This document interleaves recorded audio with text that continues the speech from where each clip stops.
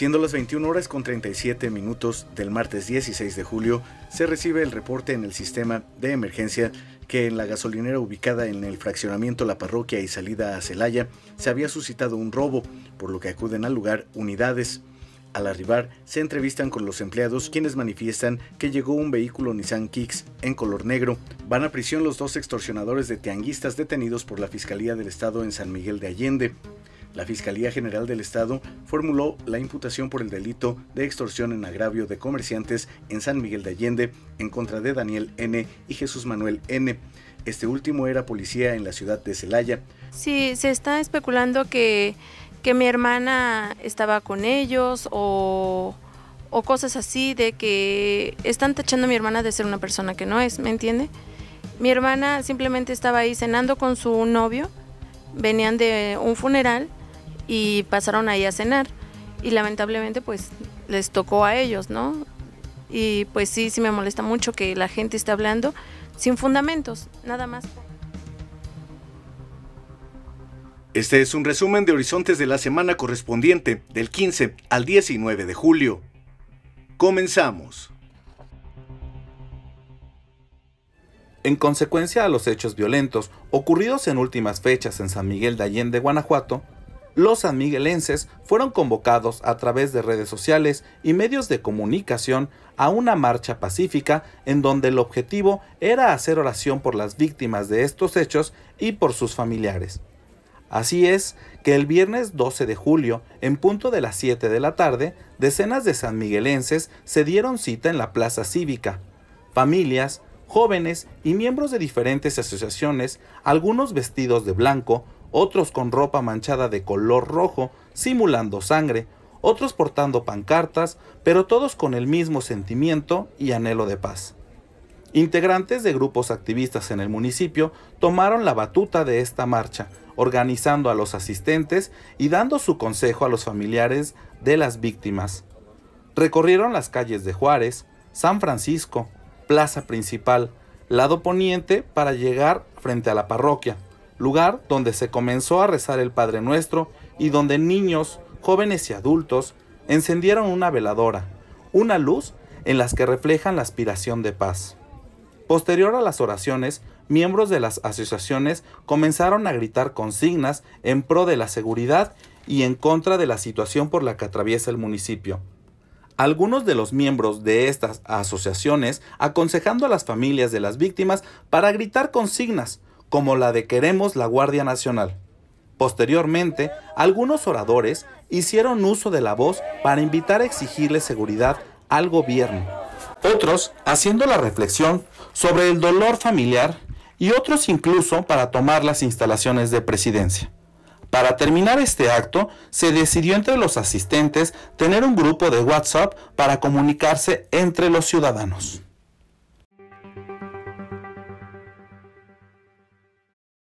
Familiares de Jimena Morales y Elena Ugalde agradecieron el apoyo de los sanmiguelenses y comentan que la investigación está en proceso, además de denunciar que ya no viven tranquilos tras los hechos violentos que se viven en la ciudad. Nunca se había visto tanta violencia, era un pueblo tranquilo, era un pueblo en el que podía salir a altas horas de la noche a disfrutar el San Miguel que todos conocimos. A muchos de los que estamos aquí nos conocemos, sabemos que San Miguel está pasando por un proceso muy difícil de violencia y esperemos que, que se tomen cartas en el asunto, que realmente las autoridades tomen la batuta, de verdad, que de verdad lo hagan, que no se quede en palabras, que no se quede en promesas y que lo hagan, de verdad, porque todo mundo, todo San Miguel está temeroso de salir a cenar, de salir a tomarte un refresco, de siquiera asomarte a la ventana de tu casa porque no sabes qué es lo que pueda pasar. La verdad no tengo conocimiento de lo que les hayan comunicado a los papás de Jimena, a Magdalena y a José Luis, no sé qué les hayan comunicado más. Ellos no pudieron asistir en este momento, por puesto que están en los rosarios de, de Jimena, este, pero están están esperando justicia para ella, justicia en general para, para San Miguel. Nos encontramos con un familiar de Elena quien nos va a expresar su sentir después de esta marcha silenciosa por la paz, donde los sanmiguelenses han levantado la voz para exigir justicia por todas las muertes que ha habido aquí en San Miguel. Buenas tardes. Buenas tardes. Pues más que nada agradecerle a, pues ahora sí que a todos los sanmiguelenses que nos hayan apoyado, igual este pues tuvimos mucha respuesta y pues la verdad estamos exigiendo justicia, más seguridad para el pueblo, no solo para los sanmiguelenses, sino también para los extranjeros que pues residen aquí en San Miguel de Allende y pues queremos que el gobierno nos dé una pronta respuesta de todo esto que está sucediendo. Y pues más que nada, pues esperemos y nos sigan apoyando porque esto aún continúa si no tenemos respuesta del presidente. ¿Ya han tenido algún acercamiento con eh, resultados eh, de investigaciones? ¿Qué es lo que hasta hoy ha, pues, ha actuado la autoridad con ustedes? Pues hasta el momento todo está en investigaciones aún, todavía no tenemos respuestas, todavía no, no, no, no, entiendo, no han checado cámaras y todo, ahí donde sucedió todo esto hay cámaras, entonces no sé qué está pasando y nosotros pues queremos justicia para ambas niñas, ahora sí que pues fueron inocentes y pues les tocó por estar en un lugar incorrecto ellas, ellas solamente pues iban a comer tacos. ¿Cómo se enteraron ustedes como familiares de esta marcha? Por las redes sociales y pues ahora sí que por la radio. ¿Quién se ha acercado a ustedes para ofrecerles su apoyo? Pues hasta el momento nadie, no hemos tenido apoyo más que pues solamente como lo vemos aquí del mismo pueblo que son quienes nos están apoyando. María Ugalde Campos, hermana de Elena, quien perdiera la vida en la balacera el domingo 7 de julio en Paseo de los Conspiradores, aclara que su hermana fue víctima inocente que se encontraba en el lugar tras acudir a un velorio. Esto debido a la información errónea que se ha manejado por distintos medios. Sí, se está especulando que, que mi hermana estaba con ellos o, o cosas así, de que están tachando a mi hermana de ser una persona que no es, ¿me entiende? Mi hermana simplemente estaba ahí cenando con su novio, venían de un funeral y pasaron ahí a cenar y lamentablemente pues les tocó a ellos, ¿no? Y pues sí, sí me molesta mucho que la gente esté hablando sin fundamentos, nada más por decir las cosas cuando ni siquiera la conocían. Ella era una persona muy trabajadora, todas las personas que la conocen sabemos cómo era ella. ¿A qué se dedicaba ella? Ella era coordinadora en el cine de aquí de la Plaza La Luciérnaga y ya tenía tiempo ahí en su trabajo. ¿Y ella tenía su novio de...? Sí, de- ya, ya tenía su novio de tiempo, ya cuatro años. Ellos venían de un velorio y se pararon allí a comer Sí, venían de un velorio de, de su tío, de su novio. Y ahí les tocó la, la situación.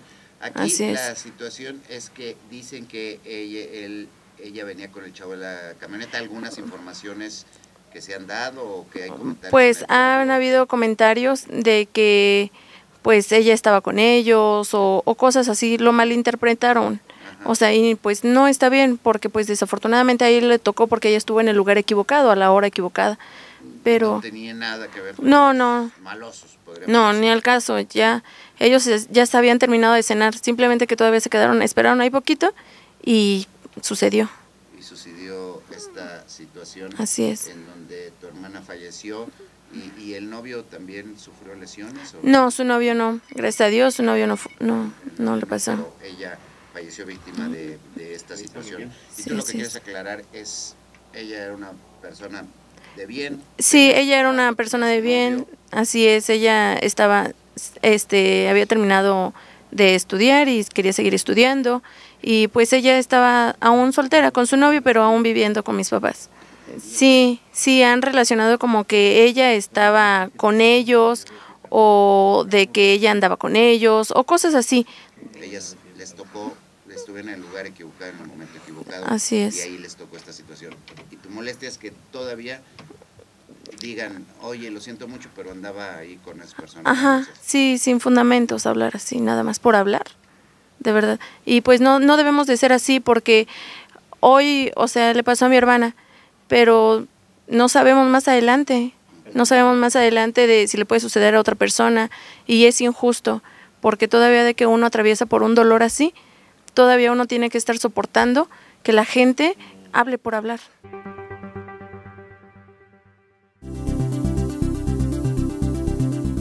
Más de 120 países en competencia. Un panorama completo de la cinematografía mundial. Un festival masivo, incluyente, gratuito. Festival Internacional de Cine, Guanajuato. Guanajuato, Grandeza de México, Gobierno del Estado.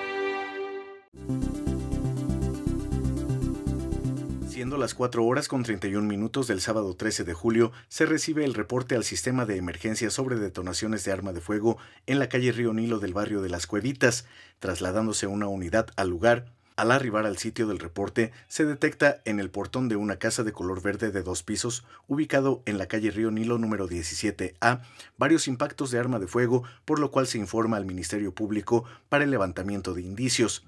Según el boletín informativo, entrevistando a los vecinos del lugar, se informó que desconocen quién sea el propietario de ese domicilio, ya que no está habitado. Siendo las 21 horas con 37 minutos del martes 16 de julio, se recibe el reporte en el sistema de emergencia que en la gasolinera ubicada en el fraccionamiento La Parroquia y salida a Celaya se había suscitado un robo, por lo que acuden al lugar unidades. Al arribar, se entrevistan con los empleados quienes manifiestan que llegó un vehículo Nissan Kicks en color negro, con dos personas a bordo.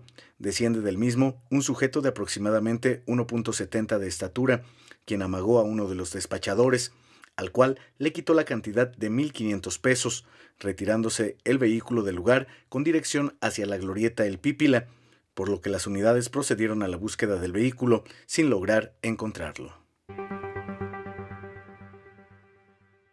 Con la finalidad de garantizar la seguridad para los ciudadanos y vendedores de la placita de los martes, esta mañana la Secretaría de Seguridad Pública montó un operativo de 30 elementos, este operativo se realiza de manera periódica debido a la afluencia de asistentes y la importancia que tiene este centro de comercio para los sanmiguelenses. El comisario Jorge Luna resaltó que durante el operativo se forman grupos para distribuirlos por las seis planchas y los estacionamientos. Durante los recorridos, los elementos de la Policía Municipal revisan a personas, vehículos y atienden los reportes que presenten los ciudadanos y comerciantes. La intención es hacer un servicio establecido con 30 elementos que van a estar al pendiente en todo lo que es la placita a fin de dar seguridad al ciudadano en los recorridos, revisando personas, revisando vehículos y pues, estando al pendiente de los reportes que tengan las personas en alguna anomalía que encuentren. Hasta el momento no hemos tenido ningún reporte, sin embargo este operativo es, eh, constante, cada martes está ordenado que se debe hacer de esta manera por mi general para que así se proceda. La Secretaría de Seguridad Pública ha intensificado sus recorridos disuasivos en conjunto para hacer frente a la comisión del delito y mantendrá elementos a pie en la placita para vigilar que las actividades de comercio se realicen de forma pacífica.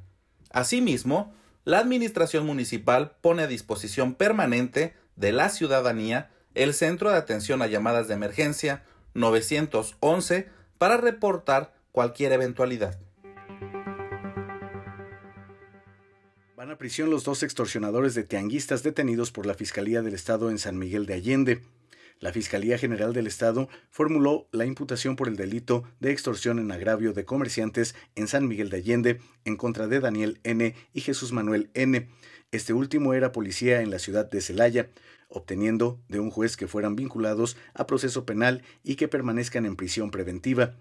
La Fiscalía Regional D tomó conocimiento de los hechos delictivos mediante una denuncia, donde se manifestó que varios sujetos acudían a la denominada placita, ostentándose como miembros de un grupo criminal y les hacían cobros por el derecho de piso a los comerciantes de los diversos puestos.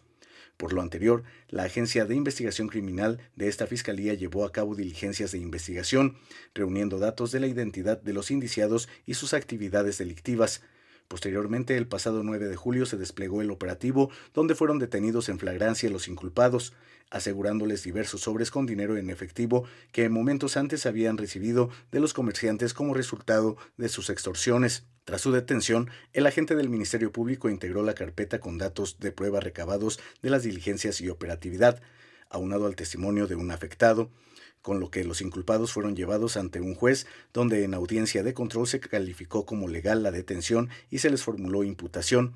La defensa de los imputados solicitó duplicidad de término constitucional y la tarde del miércoles, al agotarse la prórroga y reanudar la audiencia, los agentes de la Fiscalía obtuvieron resolución favorable del juez a la solicitud de vincularlos a proceso penal, con medida cautelar de prisión preventiva por el delito de extorsión. La Fiscalía General del Estado hace un atento llamado a la ciudadanía a fin de denunciar ante el Ministerio Público en caso de que hayan sido víctimas de algún delito por parte de los indiciados.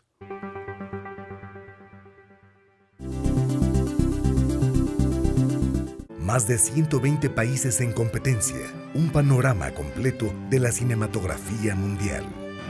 Un festival masivo, incluyente, gratuito. Festival Internacional de Cine, Guanajuato. Guanajuato, Grandeza de México, Gobierno del Estado.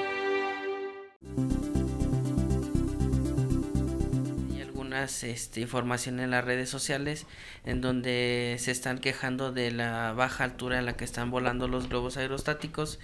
Eh, para esto, la Dirección General de Aeronáutica Civil en, su, en la Capitanía del Aeropuerto de Celaya emitió un, un documento en marzo de este año donde nos informa que todos los globos aerostáticos eh, deben de volar a una altura no menor a mil pies esto de, la parte más alta de la ciudad. Ok, ¿esto cómo lo podemos traducir o cómo lo podemos medir aproximadamente? ¿Hay algún punto de referencia en la ciudad que a partir de ese lugar tenga que ser 300 metros hacia arriba? Sí, eh, de, por ejemplo, la altura máxima aquí en el centro de la parroquia y de ahí se toma el punto que son 300 metros hacia arriba como nos lo marca la Dirección de Aeronáutica Civil en su capitanía. Y en la parte alta de la ciudad, pues la parte más alta que tenemos es el Cerro de las Tres Cruces. De ahí del, Cerro de las Tres Cruces hacia arriba, son 300 metros que deben de, de volar para no causar ninguna molestia y no invadir la privacidad de las personas en el municipio. Ok, si vemos a un globo que nosotros pensamos o suponemos que está volando debajo de esa altura, ¿qué es lo que tenemos que hacer? Eh, realizar el reporte al 911 eh, o a la, la, Dirección de Protección Civil para que acuda una de nuestras eh, unidades, se documente y enviar la información correspondiente a la Dirección de Aeronáutica Civil en su capitanía de Celaya. Cabe mencionar que este documento que emitieron ellos en marzo de este año se lo hicieron saber a todos los este, prestadores de este tipo de servicio eh, en el estado. Este, incluso eh, tenemos los expedientes de, de, los, de los prestadores de servicio en los cuales se le, este, hay una reglamentación misma este, hecha por la Dirección de Aeronáutica Civil donde el, el, capitán debe contar con la preparación en, en, primeros auxilios contra incendio, contar con un botiquín, su bitácora de vuelo, este la ver dónde en qué zonas puede aterrizar y todo ello. Y también una de, la, de, otra, de las otras situaciones es que no están permitidos los, los despegues y aterrizajes en la zona urbana. E invitarla a la ciudadanía que si tiene alguna alguna duda o sugerencia se acerque este con toda tranquilidad a la dirección de protección civil que lo eh, que realice sus reportes con toda confianza se le darán seguimiento. Puede ser eh, inmediato al 911 o pueden hacerlo por escrito y llegarlo a llevarlo a la Oficina de Protección Civil para darle seguimiento. Alfredo Figueroa invita al campamento de básquetbol que llevarán a cabo en el módulo Comude a partir del 29 de julio para niños y jóvenes de 8 a 18 años de edad. Vamos a hacer un campamento de verano em, los días del día 29 al 16 de agosto. Em, es un campamento de verano en el que vamos a traer entrenadores de una escuela muy prestigiosa de Estados Unidos, de Washington, D.C., a que vengan a enseñar fundamentos y técnica de básquetbol a los niños y a las niñas de San Miguel de Allende. Em, es durante este verano, em, es en formato de campamento de verano. Empezamos a las 9 de la mañana y salimos a las 3 de la tarde. Tenemos cupo limitado y la intención de estar aquí pues, es invitarlos a que se inscriban, y a que aprovechen esta oportunidad. Estamos trayendo un evento de mucho nivel y, muy importante, entonces queremos que sea el comienzo de, de una serie de varios eventos de este tipo, pero tenemos que tener éxito con este primero. ¿Y esto de cuándo a cuándo va a ser o cómo va a ser? Empezamos el 29 de julio y acabamos el 16 de agosto, de lunes a viernes, de 9 a 3 de la tarde. ¿En dónde va a ser? En el módulo Comude. Acá en la salida de los Rodríguez. Exactamente, sí. En el módulo Comude, para que le sepan más al básquetbol. Exactamente, y que aprendan desde el principio lo que se tiene que aprender bien, porque a veces cuando no aprendes bien las cosas en un principio, toda la vida las estás haciendo mal. Entonces lo que queremos es que las empiecen a hacer bien desde el principio. Además el básquetbol es un deporte en donde mueves todo. O sea, es un deporte que físicamente te, te exige bien, ¿no? Sí, sí, sí, absolutamente. Creo que después de la natación o al parejo de la natación son los deportes más complejos. Y el básquetbol trabaja una parte que ningún deporte trabaja, que es la capacidad motriz fina. Es decir, en espacios muy reducidos tienes que hacer de manera muy intensa movimientos fuertes. Entonces, eso es, un, eso es una característica que solo el básquetbol tiene. ¿Y de qué horas a qué horas va a ser el, eh, cada día? Empezamos a las 9 de la mañana, tenemos un intermedio como a las 12 del día para que los niños y las niñas tomen un lunch y ya después a las 3 de la tarde los recogen sus papás. Entonces empiezan el 29 de julio. El 29 de julio, así es, sí. 29 de julio, ¿qué tienen que hacer? ¿Cuánto les va a costar? ¿A dónde se van a inscribir? Lo, más importante es que nos escriban al correo SMA Basket Camp 2019 arroba gmail.com. La palabra básquet es con Q. Eh, por ahí empezamos la comunicación. Nos pueden seguir también en nuestras redes sociales de Facebook y de Instagram. Ahí nos pueden preguntar lo que quieran y se los vamos a resolver inmediatamente. ¿Cuál es la de Facebook? Es igual, SMA Basket Camp, Básquet con Q. con Q, exactamente, como se dice en México, básquet. Muy bien. Ujú. Ok, pues para que aprovechen. ¿Y qué de- edades de qué, qué edad puede venir? Vamos desde los 8 hasta los 18 años y se va a dividir por categorías. El primer día los entrenadores van a hacer una lectura de los, de los inscritos y ahí vamos a separar un poco también por niveles de juego. ¿Para qué? Para que el que, aunque tenga menos edad, si tiene un nivel alto, no lo, no lo reduzca, sino que eleve su nivel de juego con los jugadores más grandes. Pedro Allende del grupo de teatro El Tequio invita a la presentación de la obra 200 años cabalgando que se lleva a cabo en el Museo Casa de Allende en esta temporada vacacional. Queremos hacer una atenta invitación a que en esta temporada de vacaciones vengan al Museo Histórico de San Miguel, eh, que fue la casa de Ignacio Allende, donde además presentamos la obra 200 años cabalgando, una obra que habla sobre los últimos días del general Allende, especialmente sobre el juicio que se le siguió antes de ser fusilado. Allende fue capturado en Acatitla de Abaján, Coahuila, junto con Hidalgo y un ejército de más de mil hombres, y ellos, los principales jefes de la insurrección, fueron llevados a Chihuahua, donde se les hizo un juicio y posteriormente fueron fusilados. Es parte de la historia que eh, nos interesa dar a conocer, sobre todo estos juicios que son poco conocidos, las preguntas reales, las preguntas y respuestas que él dio sobre el inicio de la independencia. Así es que estamos eh, dando funciones aquí en el museo, en horario del museo. Eh, regularmente damos dos funciones, una a las doce y media, una, otra a las dos, dos y media. Eh, si gustan venir, es el- la entrada es un donativo voluntario para la función y así es que pues pueden venir con toda su familia. Los esperamos. Muchísimas gracias por eh, esta oportunidad de invitarlos a ustedes y a todo el pueblo sanmiguelense. ¿Quiénes son las personas que conforman el elenco de esta obra y con qué finalidad lo están presentando? Eh, mira, somos un grupo de teatro que nos formamos hace ya nueve años aquí en San Miguel, somos actores profesionales, el grupo se llama El Tequio de San Miguel, Centro de Investigación y Producción de Artes Escénicas y tenemos varias obras de repertorio. Eh, no solamente esta de eh, Ignacio Allende, sino también otra obra que ha tenido bastante éxito, que es sobre la vida de Leona Vicario, una mujer muy importante para la independencia de México y muy poco reconocida oficialmente. Eh, la obra se llama Vicario Madre, Leona de la Patria.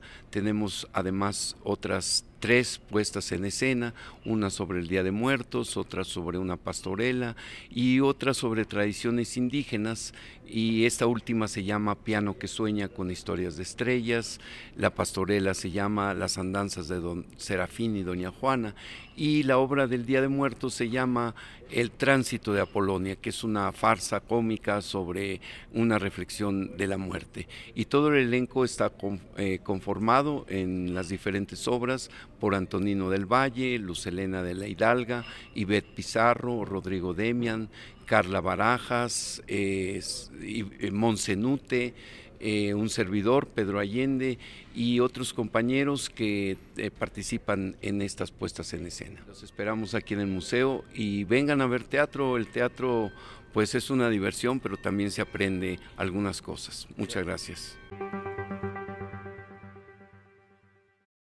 José Luis Berra de Linaeva informa sobre los servicios que ofrecen para los sanmiguelenses que quieran concluir su educación básica hacemos la atenta invitación a todas aquellas personas que no tengan su primaria, no tengan su secundaria de 15 años cumplidos en adelante para que la terminen aquí con nosotros en San Antonio Abad.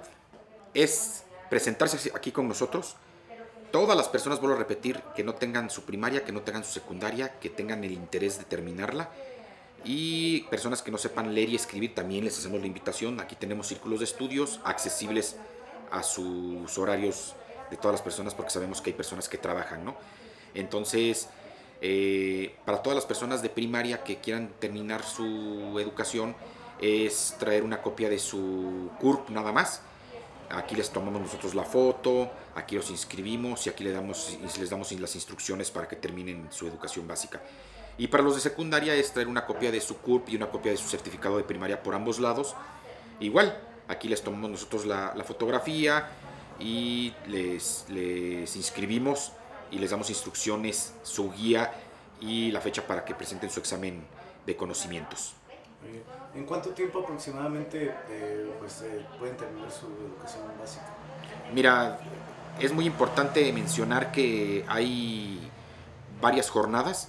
Dentro de esas varias jornadas hay eh, muy buenos, ahora, ahora sí que están tanto la federación como el estatal tienen buena eh, tienen están sacando jornadas de aplicación de examen único.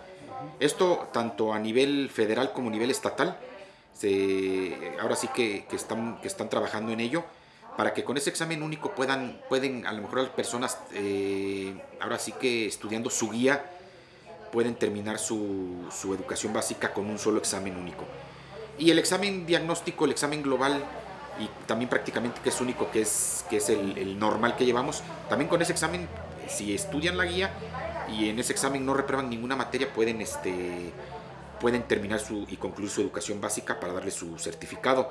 Ahora, recuerden que si las personas no, no acreditan alguna materia, se les da seguimiento con un asesor inmediatamente para que lo, vayan concluyendo dependiendo de lo que hayan acreditado durante el año o eh, posiblemente al siguiente mes puedan terminar o en dos meses. Es muy importante también mencionar, Josué, que es completamente todo gratuito, absolutamente todo. Ellos lo único que, lo único, lo único que van a gastar es en su tiempo nada más, que es lo, que les pedimos, y se tienen que dar su tiempo para, para, este, para terminar sus estudios, ¿no? Y lo, lo logran, lo logran y sí, sí, sí hay un rezago muy fuerte aquí en el municipio de Allende, entonces sí es importante hacer esta invitación para que todas las personas que nos estén escuchando y no tengan educación básica o, person o, o, ellas mismas que nos están escuchando que conozcan a personas que no tengan su educación básica, estamos aquí para echarles la mano y apoyarlos y que terminen su educación básica. Que se dirijan directamente aquí con ustedes. Sí, eh, aquí en San Antonio Abad, número 4, estamos muy cerca del DIF y el teléfono es 15 456 38 para cualquier información. Aquí estamos y estamos de 10 de la mañana a 8 de la noche de lunes a viernes. Los sábados de 10 a 3 de la tarde. Y si hubiera personas, eh, Josué, que la verdad no puede de lunes a sábado porque trabaja, porque tiene actividades, le abrimos el domingo, aunque sea una persona, no importa, para que presente su examen. Ahora sí que tenemos toda la disposición y les vamos a dar ahora sí que todo el apoyo para que presenten sus exámenes y terminen su educación básica, que para eso estamos y está esta institución.